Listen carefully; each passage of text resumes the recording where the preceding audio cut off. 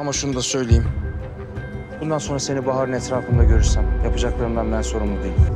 Bas bas bağırıyorsun. Canım tehlikede, kendimi güvende hissetmiyorum diye sesini duyan yok.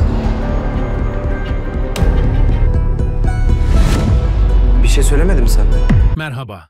Bahar dizisinin yeni sezonunda hiç beklemediğimiz olaylar olmaya başladı.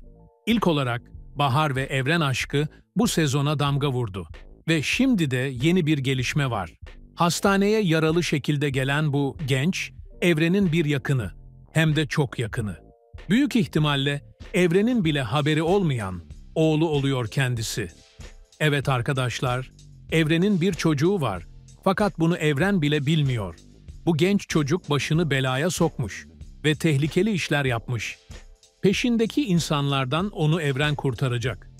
Annesi ise vefat edince Evren'i bulmak istemiş, sonunda Evren'i buluyor ve yıllar sonra bir kavuşma yaşanıyor. Ayrıca yeni bölümlerde birçok gelişme var. Bunlardan biri de Bahar ve Evren'in evliliği olacak. Her ne kadar çocuklar bu aşka ve bu evliliğe karşı çıksalar da Bahar ve Evren evlenecek. Bahar dizisiyle ilgili tüm parodiler, analizler ve anlık paylaşımlar için kanala abone olup bildirim zilini aktifleştirin. Böylelikle gelişmelerden ilk sizin haberiniz olur dostlar. Şimdilik hoşça kalın. Kendinize iyi bakın.